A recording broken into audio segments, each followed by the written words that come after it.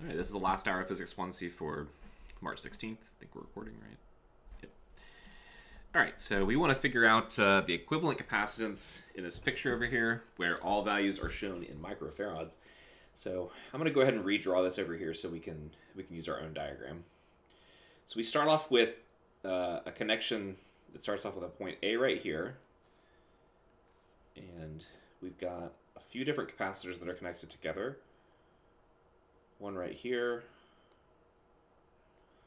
and then a branch where we get two right here. I don't even think that's going to be enough room because we're going to need to write in between everything. So let's leave a lot of room between these two. So then there's one here, one down here, and those connect back up here. And down here we have kind of a repeat of the same thing. Leave a lot of room.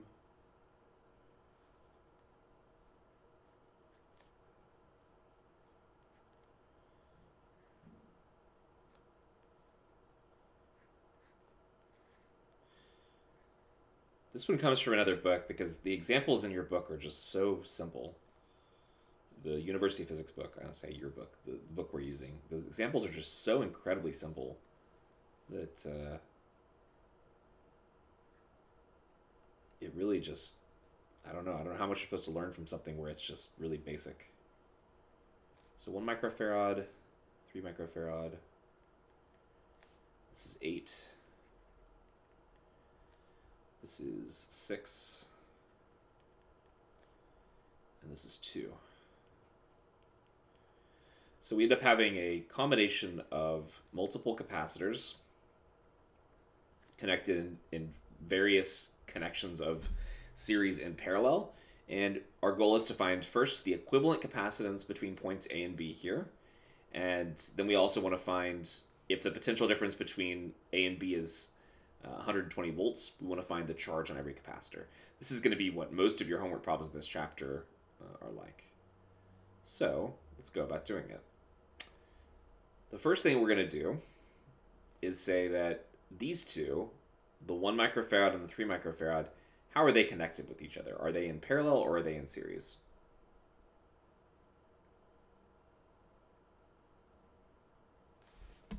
Parallel. Parallel. That's right, they're in parallel. And the 6 and the 2 are also in parallel, right? So we're just going to take those two, there's a little circle here, and we're just going to reduce them down into their equivalent capacitance, and we'll do the same thing here. So what that'll look like when we redraw our diagram, so we're going to just kind of go downwards here. When we redraw our diagram, what it's going to look like is we're going to have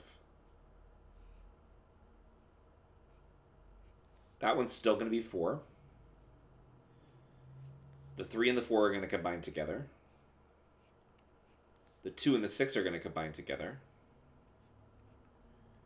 And we're going to get something that looks kind of like this. Where that's going to be 4 microfarads. This is going to be 4. Now, 6 and 2, if we do 1 over 6 plus 1 over 2, and we take that to the negative 1 power, what do you get? A sixth. This is a 2, so a sixth plus 3 sixths um, would be 4 At one and a half. You get 1.5. Wait. Is that really what we get? Do we really get 1.5?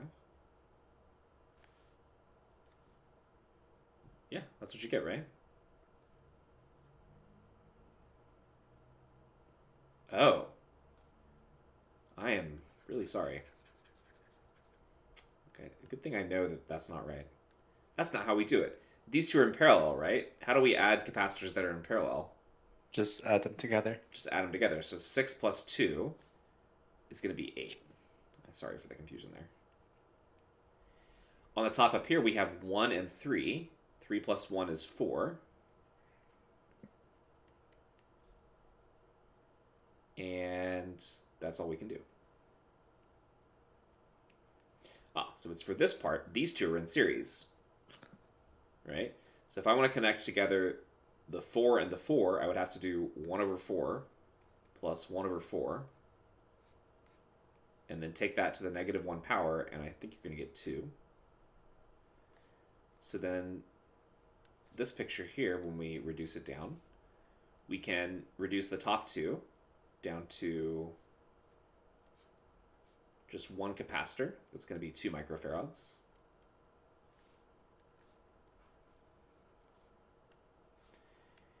And then we'll have on the bottom, what are these two? If you take 1 over 8 plus 1 over 8, what are those going to reduce down to? 4.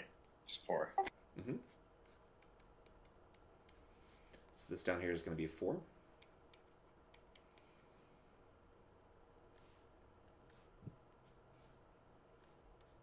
And then finally, those reduce down to six, right? So we're basically just left with one capacitor that has an equivalent capacitance, this is the answer to part A, of six microfarads. Anyone have any questions?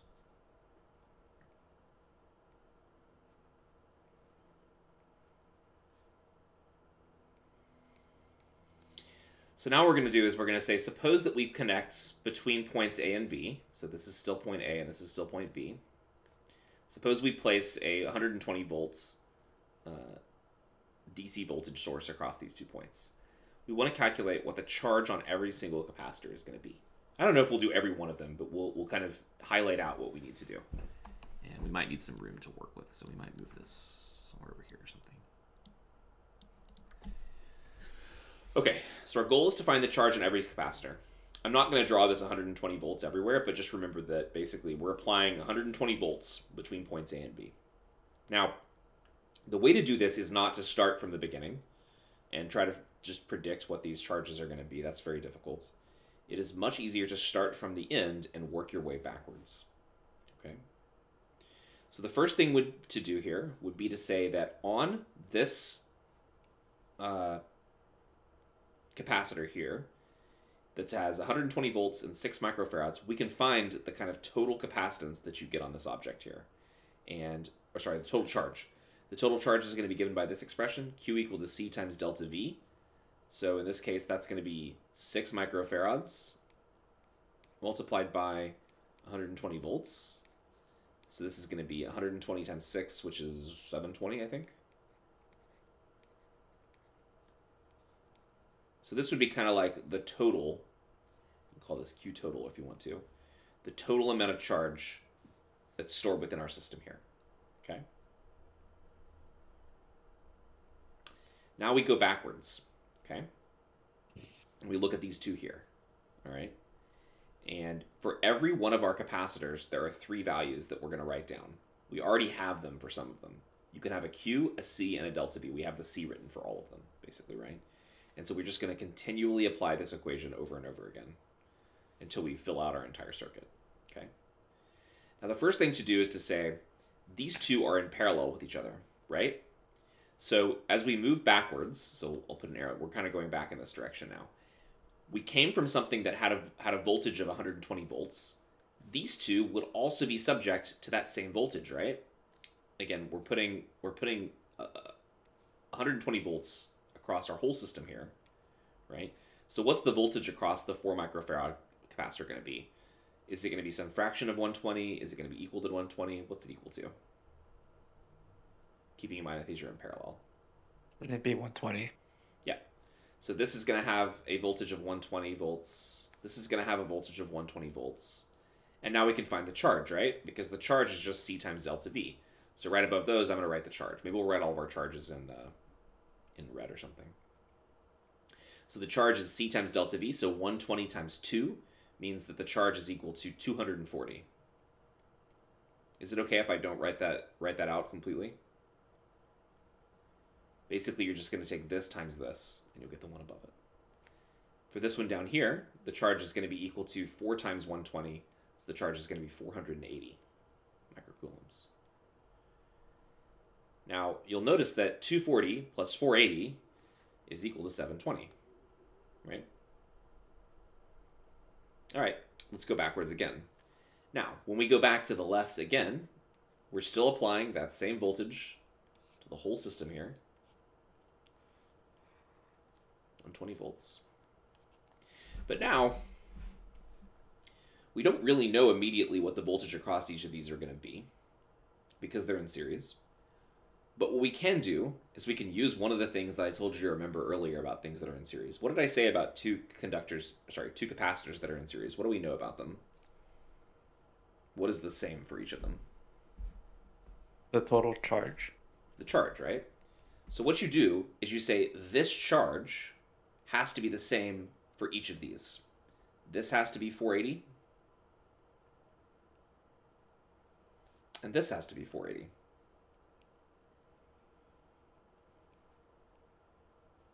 You basically use the value you got here because the 4 microfarad capacitor came from squishing these two together. And we said that this it also has to carry the exact same charge. What's the charge on the upper two going to be?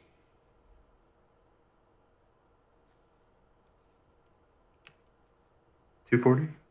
Yeah, it's going to be this one because it because these two squish down to the top one, right? So this is going to be 240 microcoulombs. This is going to be 240 microcoulombs. Now, we've actually solved for this one and this one now already, right? So we just have the 6 and the 2 and the 1 and the 3 up here, right? How do I get information about those? Well, this one, 8 microfarads, came from this 6 and 2 above it, right? 6 plus 2 is 8. And what do we know is going to be the same as we go backwards now from this one to this one here? What's going to be the same? What's going to hold true as we go backwards? The voltage. The voltage, because these are in parallel. Now, do I know the voltage on this one? Not yet, but we can find it, right? Because we have C, and we've got Q, and delta V is Q over C, right? So in this case, I guess I'll write this one out. If I write 480 microcoulomb and I divide by 8 microfarads, the micros will cancel. And what do we get? 480 over 8, that's 60, right? So if I know that this one has 60 volts, right, then these two have to be 60 volts. This is 60 volts, and this is 60 volts, because they're in parallel.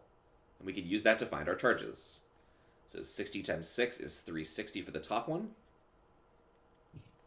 60 times 2 is 120 for the bottom one. So again, what we did was we said it's parallel. So whatever it turned into, they must have the same voltage. So 60 volts down here, which we got by doing, uh, what was it, 480 divided by 8, and you apply it right back there. What is the voltage on these two going to be? Well, these came from here. What's the voltage on this going to be? Can you can you all calculate that? What's the voltage on this one going to be? You kind of do it in your head if you want to. Also, it would also be 60, right? Yeah, it turns out to be 60 as well. 240 over 4 is also 60. Okay? Because of all the equal numbers in this one, this just ends up happening. We'll look at my problems later that won't be so simple. So if this is 60 volts, this has to be 60 volts, this has to be 60 volts, which means that for the charge, this one's going to be uh, 60 microcoulombs, and this one's going to be 180 microcoulombs. There's a lot of things you can check with these. 180 plus 60 is equal to 240. Uh, what's this one? Um, ooh, that's not right. I'm so sorry. I put microfarad right here. It should have been microcoulombs for the charge. I'm so sorry. Microcoulomb. Microcoulomb. Really sorry about that. Anyway, that's that's how you do these. This looks quite messy. Looks quite messy, and I apologize, but that's basically the uh, the way in which you would do this. Usually, when I do this on the board, I I have just a lot more space to work with. Trying to keep everything on one page here, which is maybe a problem. Maybe I should just be using more space. Um, you know, I would basically put one of these on one board, this on another board, this on another board, and this on another board, and then you could basically go and you'd have plenty of room to write everything in and be neat and stuff. But didn't work out so well here. Anyway, that's how you do these type of problems. Does uh, does anyone have any questions? Professor, you said that the total charge in the whole system was 720. Yeah. But, but looking at the the diagram at the bottom left, I think the charges add up to more than that, right? Well, remember that the internal charges here cancel. So 480 plus 240 is 720, right? Mm-hmm. And it looks like maybe there's twice as much charge. But what you have to remember is that this one's positive and this one's negative, and this one's positive and this one's negative. So when we combine these two together here, the positive and negative in between them cancels out. So the total Okay. charge. Does that make sense? Yeah. So that's how you end up getting. This, then this ends up being positive and this ends up being negative. So, yeah, that's a good point. That's a good question. Okay. So, um, I guess. I'm, I'm, uh, not sure what I want to do. I, I kind of want to just do more of these problems, um, honestly, uh, instead of introducing energy. And we can talk about energy next time, I think. I think that's a fair thing to do. So I've got some really good versions of these problems, which is to say that uh, I've got some that are kind of tricky. And what I'm going to do is I'm going to give you about five minutes or so to try to work them out for yourselves, and then we'll try to solve them. So here's our problem that I want you to look at. And there's another one as well that if you finish this one, you can try. But we'll go through them in order, and I'll probably give you time for each of them as we're doing them. I think we can do both of these before class is over. Might as well give it a shot. So these are the two problems I want you to look at. We'll do them in order. And uh, yeah, what I'd like you to do is to look at these. There's the one right there, and this is the one right here. These both come from a different textbook, but you're going to see problems like this in your homework. And uh, yeah, so the first one it says find the equivalent capacitance between points A and B for the group of capacitors connected as shown. Take C1 equal to 5, C2 equal to 10, and C3 equal to 2 microfarads. And then for the network described in the previous problem, if the potential difference between points A and B is 60 volts, what is the charge stored on QC3? And really, we're going to find the charge on everything, honestly. And then if you can finish this one in the time, I don't think you, it's five minutes is just not enough time for that one probably, but if you can, then you're going to look at this one over here. Okay? And I'll probably give you time in between to look at this one. Um, the one thing I'll tell you about this problem is that it is is drawn in such a way to intentionally trick you. So take your time with it. Um, take your time with trying to to solve it. One thing I will say is that these capacitors, you can move them anywhere you want, as long as you don't pass through another capacitor and you don't pass through a junction like this like this. So for example, I could take C2 right here and I could move it anywhere along this line if it made it simpler for me to understand what was going on, okay? I could take C3 and I really can't move it very far. I can't pass these junctions. I can move it up and down. So I think of it as imagine that these are wires and imagine that the um, the capacitors are like little beads that are constrained to the wire. I think about like those toys where you have those like big wire frames and you've got little beads that you can you can move around on. Like that's kind of the way you can manipulate these. You can also bend and change these wires again as long as you don't change the connections. Like the right side of this needs to be connected to here, the left side of this needs to be connected to the left side of this. I think I probably said too much. I'm probably overwhelming you, but just because it's drawn like this doesn't mean that you can change the way that it's drawn. Every one of these lines is a wire. Okay? It's not a, it's not like a rigid thing. So yeah. Anyway, give it a shot. See if you can solve this problem. And we'll come back and we'll uh, look at it. So we'll give you five minutes. We'll talk again and uh, at 4:32, 4:33 or so. And if you um, if you have a question, feel free to ask.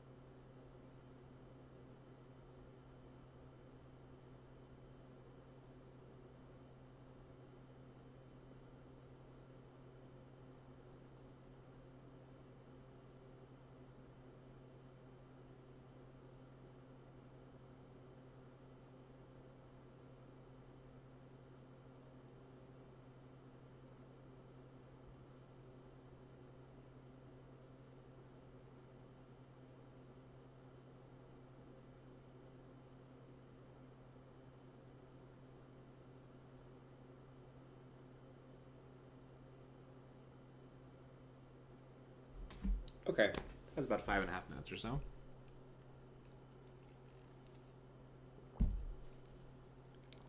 If you weren't able to solve, don't worry about it. This problem's really hard. If you were, that's great. All right, so we're going to redraw this. Move this one off to the side for now. All right, so we've got uh, all these capacitors connected up as shown. We'll draw a bigger version of it so we can actually write on it. So we start off and we say, okay, we've got. So I'm, I'm immediately going to re- redraw this in a way. Uh, I think that's the right answer, actually, or something close to that, Cam. All right, I'm going to redraw this immediately in a way that's probably easier to see. C1 and C2, how are those connected to each other? Are they in series or are they in parallel? Parallel. In series.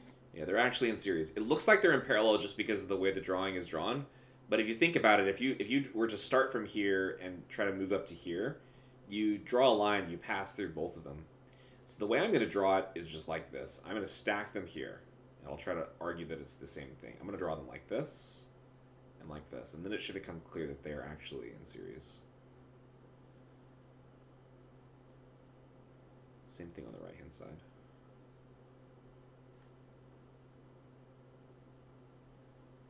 Let's actually label the numbers in here. So do I have to write microfarad for everything? I probably should. The top one is C1, which is 5. The bottom one is C2, which is 10. Same over here, right?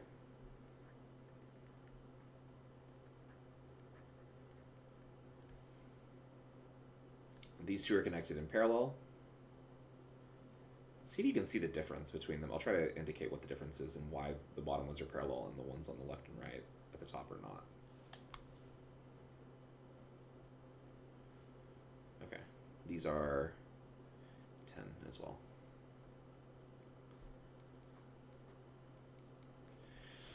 Okay, so the difference between these bottom two, right, is if you look at this point and this point right here, you can see that I can draw a line up through C2 and get to here.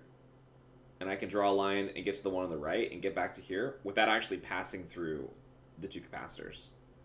Okay, and so that's what basically makes them parallel, is because they're both connected to this point in the circuit separately. You can't really say the same thing about these ones on top, okay? There's really no way to draw a line. See how I can basically, here, let me draw it in yellow so it's like maybe more clear.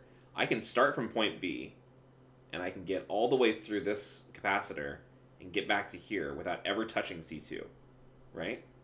And I can do the same thing on the other side. I can start from point B, and I can go through C2, and I can get to here, and I never crossed C- the other C2, right? So that's what makes them parallel. There's no way you can do that over here. Say that I want to get from this point to this point up here.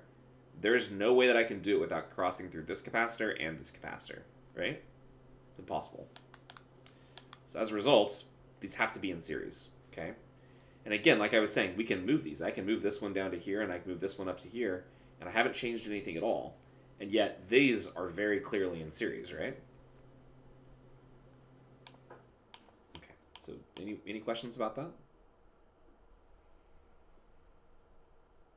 All right, so after we've done this, our goal is to find the equivalent capacitance of the whole network, which means we need to start breaking it down piece by piece. So let's start with these two right here. They're connected in series. So when they're connected in series, I have to add the inverses. So I need to do 1 over 5 plus 1 over 10. And I need to take the inverse of that. Um, this is like 2 tenths. Sorry, this is like 2 tenths. So I believe this is going to give us 3.33. Because 2 tenths plus 1 tenth is 3 tenths. You take the inverse, that should be 3.33 microfarads. Same thing with this one here. The two tens are in parallel, so what are they going to reduce down to? 20. Yep. You just add them together.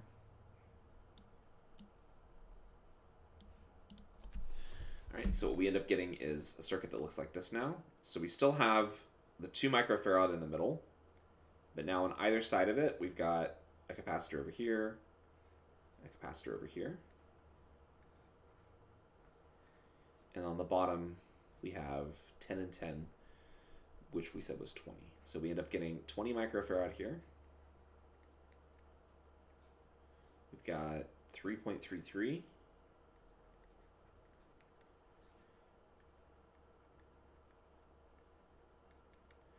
And we've still got the 2 in the middle. Let's go down this way now. 3.33, 2, and 3.33 are all in parallel with each other. Again, if you can't see that they're in parallel, although this one's pretty obvious, you can apply the same test. I can go from here to here and pass through just the 2. I can go from here up to here and just pass through that one. So they're in parallel, which means we can add them all together. We can't include this one though, because it's going to be in series with the combination of all of them. So this is going to reduce down to 2 plus 3 plus 3 is 8.66, I believe.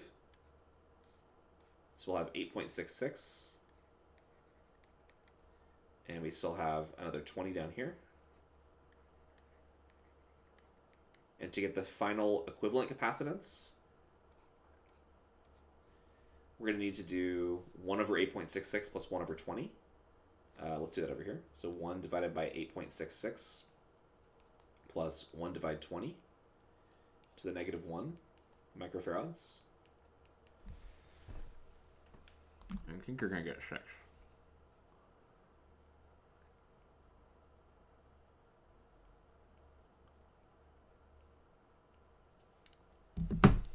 About 6.0.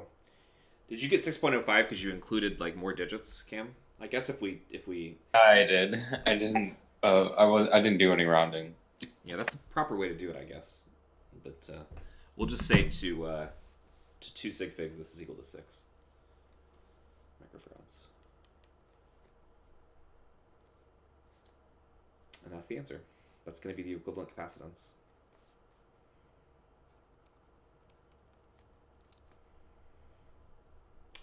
Okay, does anyone have any questions?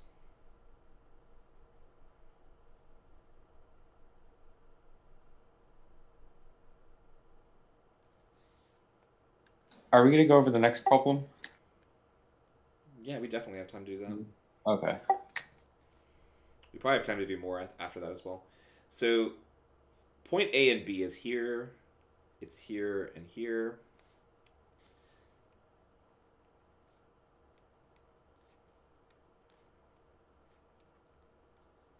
And it says for the network described in the previous problem, if the potential difference between points A and B is 60 volts, what is the charge stored on Q3? All right. So we're attaching right here. We're going to attach a battery.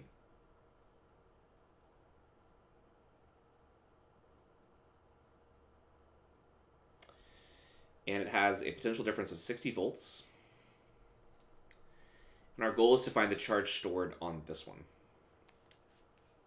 So in order to do that, we need to kind of work our way back through the circuit. We don't have to find the charge stored on every single capacitor, although it might be educational to do so. I don't know. Let's see. So here's what we do. Everything is going to be using this equation, Q equal to C times delta V. We're going to use that over and over and over again, right? Because it's the only equation we really have. So looking at these two right here, something's missing, right? What's missing? We've got a voltage, we've got a capacitance, we're missing need the charge. the charge, right? So what's the charge going to be? So for these two, the charge would be equal to 60 times 6, which is about 360, right? All right. As we move from back in this direction here, what's going to be the same as we move from the left picture to the right picture over here? Is it going to be the voltage. is it going to be the charge or is it going to be the voltage? Voltage. These are in series, right? What's the same for things that are in series? Is it voltage or charge? Oh, the charge. Sorry, I meant yeah. The voltage is does change. So these, them. so these should have the exact same charge. That means this should be 360 microcoulombs for this one, and this should be 360 microcoulombs for this one. Let's write out all of our voltages in green, actually. So to find the voltage, we just do delta V is going to be equal to charge divided by capacitance, right? So this one's not so easy, but if we divide these, we should get delta V, the potential difference.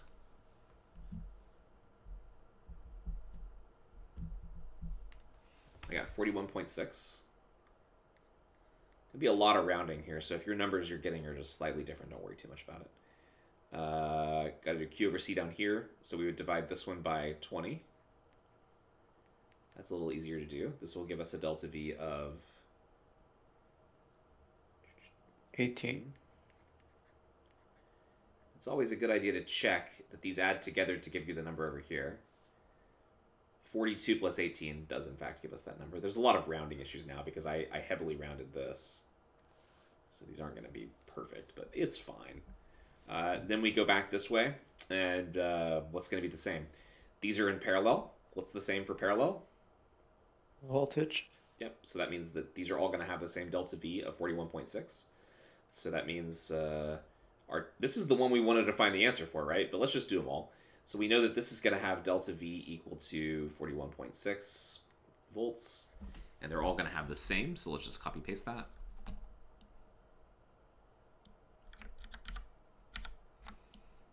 So this one in the middle is going to be delta V equal to that.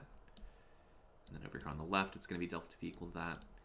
And if we want to find the charge for this one, for example, the charge is going to be equal to C times delta V. So it's equal to, and again, this is C. I'm not labeling these as C. I hope that's not confusing anyone too much, although I'm sure it is. Uh, 3.33 times 41.6. So I got 139 or so, roughly. So the charge on these is going to be 139 microcoulomb. The same thing over here because it's the same. This would also be 139 microcoulombs. And now for the one we actually wanted to know, we're going to do C times delta V here. It looks like it's going to be like 82, 83.2, I think. If we multiply those, we'll just check. 41.6 times 2 is 83.2. Yeah. And that's our answer, actually. And technically, we even solved everything else because since the 5 and the 10 were in series and they reduced down to this, they're going to have the same uh, charge. These are going to be 139, 139. Same thing over here. The only ones we didn't do are these 10s, and those would come from here. These would be, these are parallel. They turned into a 20. So this would be 18 volts, and this would be 18 volts coming from down here. And then our charge, of course, would be 18 times 10, which is 180.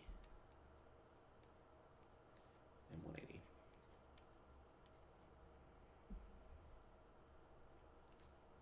That's it. That's how we do it. Anyone have any questions?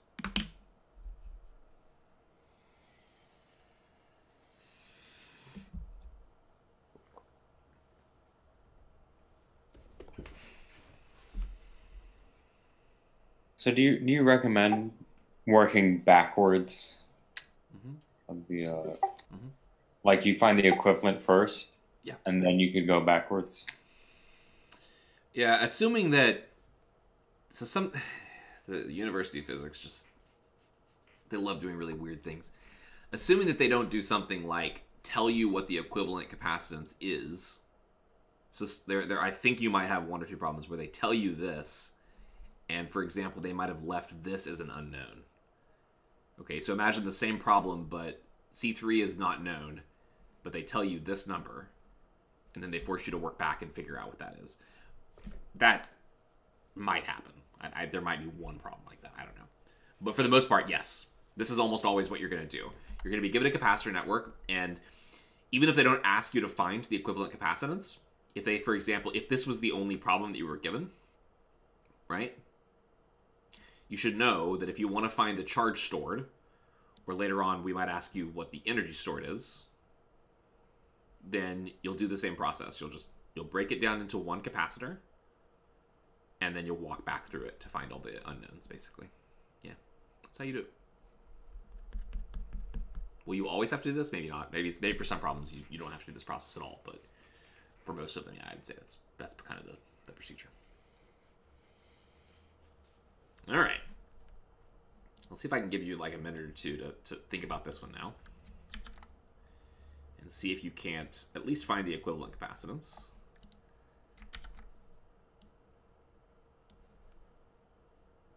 And um, I don't know. I guess I could zoom out so you can compare it to this one. So take take a couple minutes and see if you can at least set up the steps for how you would do this one here. And again, it's drawn in a tricky way, but uh, you know, don't let it trick you too much because it's because you, can. Hmm, I don't know how much I want to tell you. Just try to give it a shot because I want you to struggle with it, and then we'll talk about how to do it. So I'll give you two minutes. We'll start again at 4:51 or so.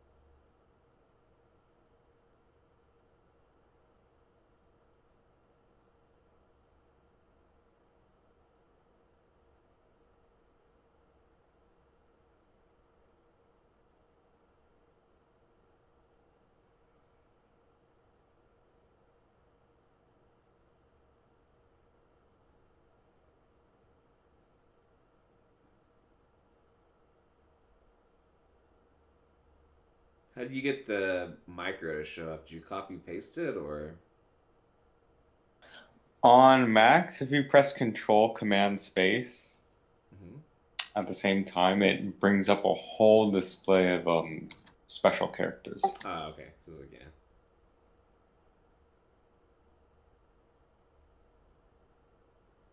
Okay, I hope that was enough time to at least think about this.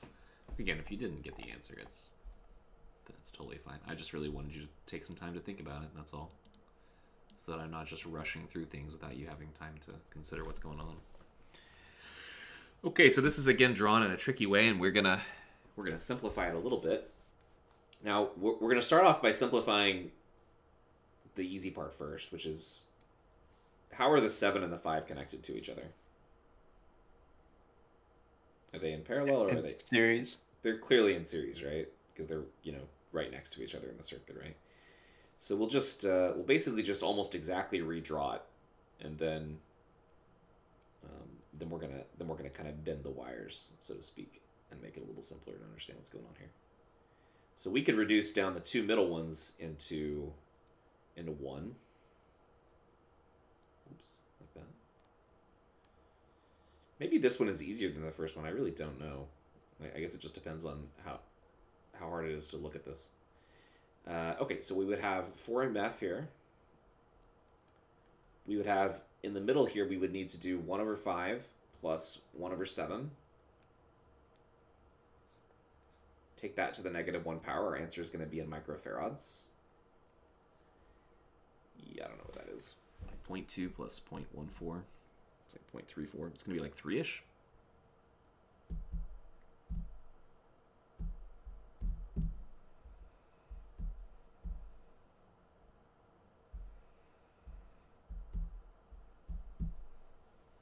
2.92.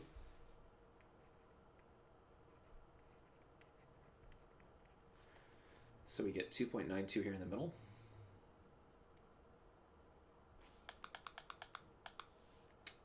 I don't know where to write this. I guess I could write sideways. 2.92 UF. I don't know why it's it's really feels really weird writing diagonally on this tablet because I want to I want to turn the tablet, but if you turn it and then try to write diagonally, it's uh, gonna write straight. Anyway, this was six, and now you just have to ask yourself how are these connected? Are they series or parallel? And maybe it's obvious that they're in, in parallel. I don't know, but Yeah. what I would say is that what you can do is I can take this wire right here. I think, yeah, let me grab it. And it doesn't change the circuit in any way for me to move the wire to here. And, you know, I, I don't know how you're supposed to develop that intuition or whatever, but um, similar to what we were saying earlier about how the electric potential is the same at all points along the wire, um, it really just doesn't matter where I put this wire. It doesn't change anything like that. And if we do that, it starts to look a lot more like we did before, and then we can just kind of rotate the circuit. Because now all we need to do is basically just bend this wire down this way and bend this wire up this way, and then just twist the whole thing by about 45 degrees, and you get a circuit that looks pretty simple. So again, this this one is just drawn in such a way to make it look weird, um, but in fact, it's it's really not that complicated at all. because if because if it was drawn this way, it would have, it would have been a really easy problem. But that's the kind of stuff you'll see on your homework. It's just yeah. So to add the to do these, we need to basically just say, oh, we just do four plus two point nine two plus six equals twelve point nine two microfarads, right? That's it. Because they're in series or they're in parallel. Sorry. All right. Does that all make sense? Anyone have any questions? I hope we've done enough today to help set you up for your homework, but if there are homework problems that you get stuck on, let me know. I will ask you now that we've done a lot of these. Does this seem harder, easier, or about the same as what we've done in the previous chapters? Easier. Way easier. It's a lot easier, right? Okay. Just to make sure that you all didn't think I was lying to you at the beginning of the semester when I told you the first month was the worst, but then it gets easier. So this month, this month of, of physics hopefully should be, and by this month I don't just mean March, I mean the next, basically probably right up until spring break, and then after spring break it'll get a little challenging again for about a month, and then the last month will be pretty easy too. Now let's see what we can do. Uh, our goal was to cover capacitors and capacitance, parallel plate capacitors. We did that. We looked at capacitors in series and parallel. So the next thing to do would be to talk about the energy that's stored inside of capacitor. And we can do this relatively quickly, actually. So let's just talk about the theory for that, and uh, that'll leave us with less to do next time.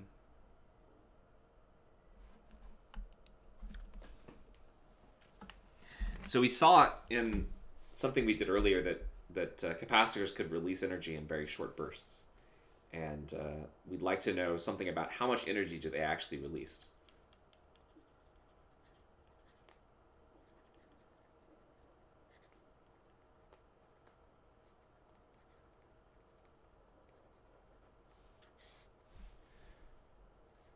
So to do this, what we do is we start off with a circuit. So we got a battery.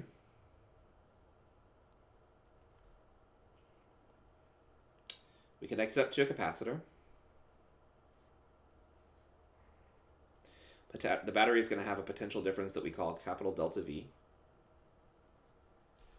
No, delta V, like that. And our capacitor has a capacitance C. And what we're going to do is we're going to kind of look at the process by which the capacitor gets stored up. We're going to look at the process by which the capacitor gets charged up. All right. So let's suppose that at some point in time, before the capacitor is done charging, so this capacitor is kind of in the process of charging up.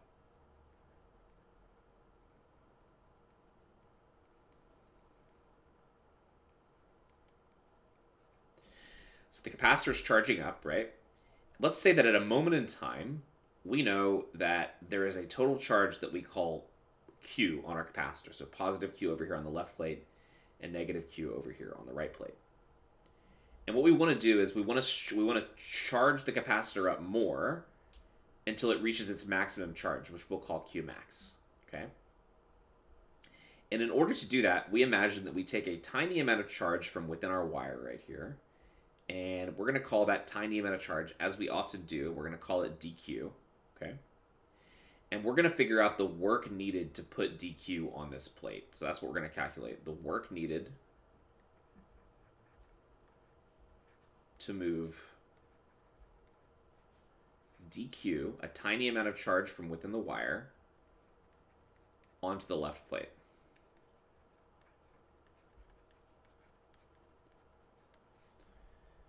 Okay. So if it's a positive charge, would you all agree that it's going to take energy or take work to push this charge into this plate right here, which already has positive charge? Does that make sense? It takes work to do that. Yes. Because this is positive, that's positive. You're trying to push a positive on something that's already positive. All right. Now, that's okay because the battery is going to do it for us. So we're not physically doing this ourselves. The battery is what's doing this, right? Okay. Now, the next thing to say is let's say that the potential difference at a moment in time on our plates at this point in time we call delta v but we use like a little v like this okay? So delta v where i where i write it like this so it looks like a smaller v is going to represent the instantaneous instantaneous voltage on the plates or the instantaneous potential difference on the plates. I should really say potential difference. Anyway. Okay.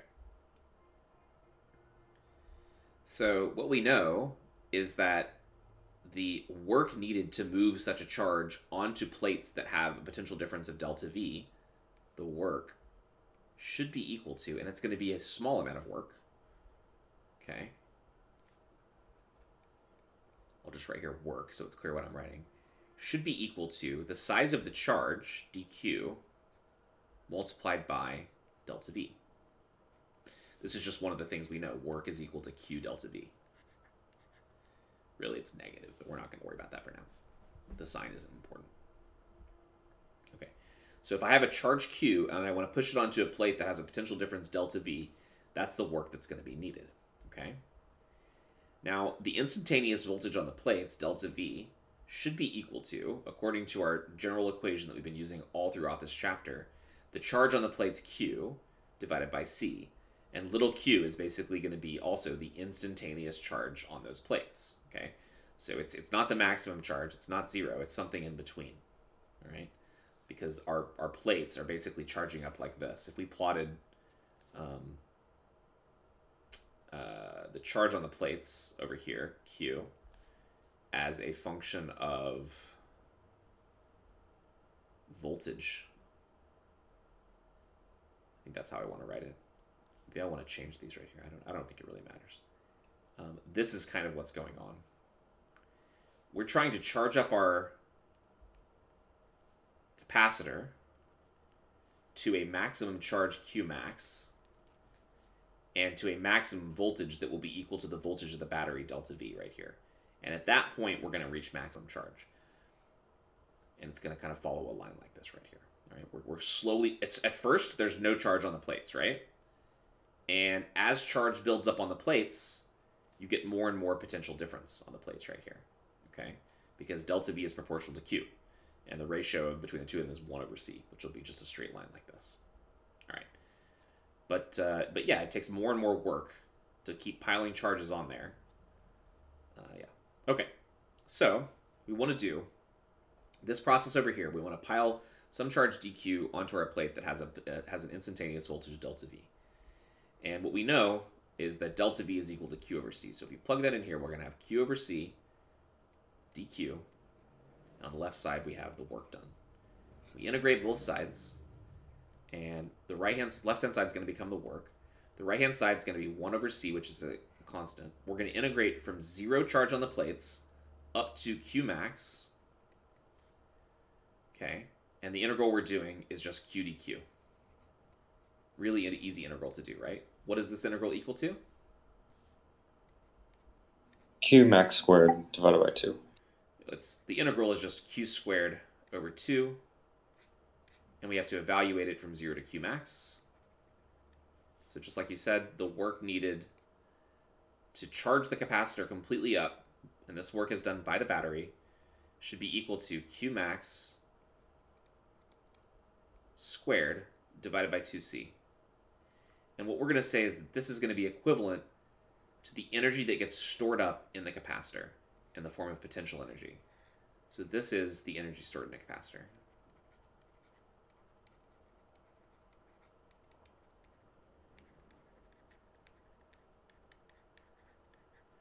Now, if we were taking a uh, um, if we were taking a uh, physics 2b course, what I would say is that the work would be the area under this curve. And the area under this curve would end up also being q max squared over 2c. Anyway, I think I did that right.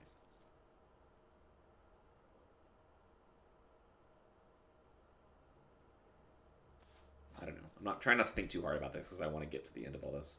So here, this is the energy stored then. It's related to the charge squared divided by 2c. But we can write that in two different ways. Two different other ways, I should say.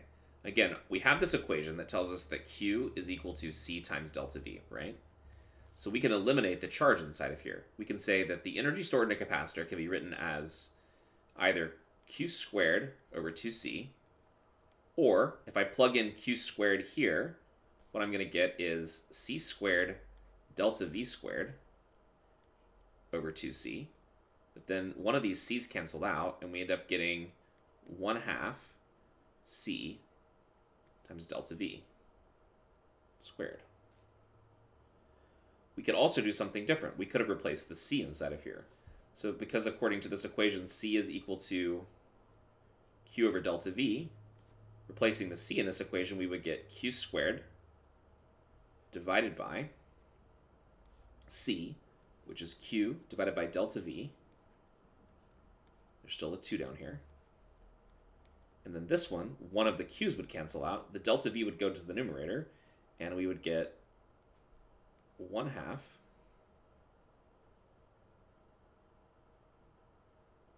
I thought for a second that was a squared. It's not. It's times 2. It's times 2. You get 1 half q times delta v. So these are the three definitions. Here, let's write like this. Equals, so this is the energy stored in a capacitor. Energy stored in a capacitor, we use U because U is uh, what we use for potential energy. And we got that definition. We got that definition. We've got this definition here.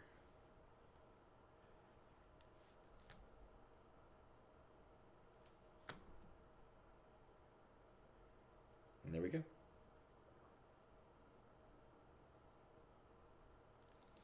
I should have uh, inverted these axes, by the way.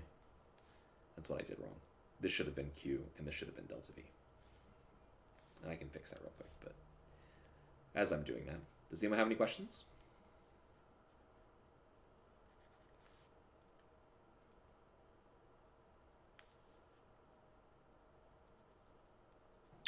Um, what is what is most often used in practice, if this is, if this potential energy is used in practice? Of these equations, Um, what? I mean, is it? Do we measure capacitance more? So, like in real life, people measure capacitance and the potential difference. So it'd be like one half c delta v squared. Oh, Yeah. which which one do you use? Well, the charge is really hard to measure unless you know the capacitance and the voltage. So I, I would say this one is the easiest to use, kind of like in practice. Because bolted, like as we saw earlier, if you're using a capacitor, you're going to know the value of C, and you're probably going to know the value of delta V. You might not know Q. Now, of course, you could always find it, right? So I think that does that answer your question? Yeah, yeah. Yeah, these seem like the more measurable. These are like the measurables, you might say. Hmm. Well, delta V is a measurable. C would be known usually. Okay, that's that. It's five ten, so we gotta stop.